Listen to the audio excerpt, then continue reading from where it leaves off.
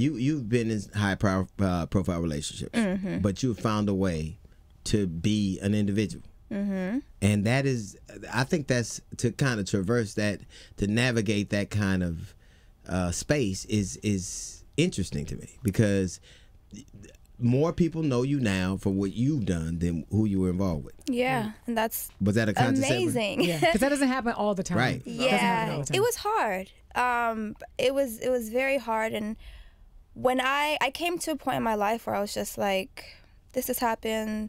This is what it is. What are you gonna do? Are you gonna go back to nordstrom and sell some more clothes to Right. dl Right. no! Then it don't wear good anyway.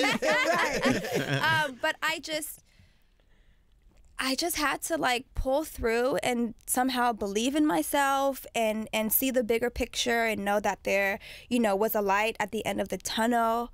But in the thick of that was tough because. Mm-hmm. As humans, being in a relationship is, is hard enough as it is. Sure.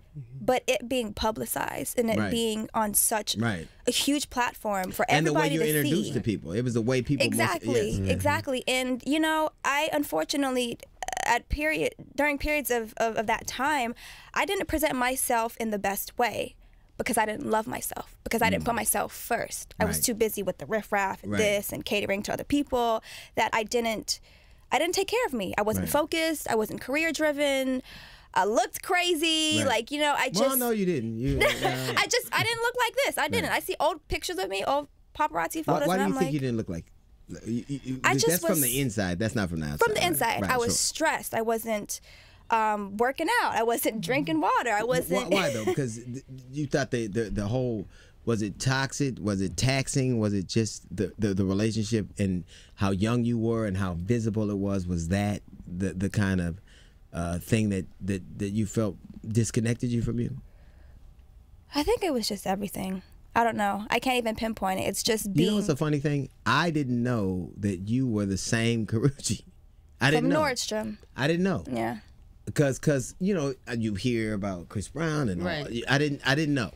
When I saw you at the Def Jam thing, That's where I saw. that's okay. where I saw you Okay, at Def okay. Jam. Yeah, yeah, yeah. yeah. After me and Dave Chappelle, I saw you at Def Jam, and I mm-hmm. went you because you were so different Yeah. in, in the zeitgeist than you were eh, in my interaction with you. Right. And then you looked so strong. Like I saw you on an interview, um, and you were talking about your new relationship. Mm-hmm. And the thing I d- uh, that I can see now, as opposed to then, is you look happy, Mm-hmm. but sure. Yeah. You're scra- like there's an old uh, scramble, but not together. but and you seem together, but not necessarily scrambled. You're not. You, you you have your own thing. So Right. that way you can be that much more happy in your relationship. It looks like that to me. I can't tell you what what it is for you, but you seem so much more s- solid. Yeah, and I think I was just, I was young. I was in my early 20s and I was maturing and growing, and it just, this is what my story was, you know, in front of the entire world Yeah. to see. So I was Yeah. in the midst of all that, trying to figure out this relationship thing, trying to figure out life, trying to figure out how to navigate the public life and what else am I going to do with myself other than, you know, this relationship or this this portrayal of me. It's just a lot of, of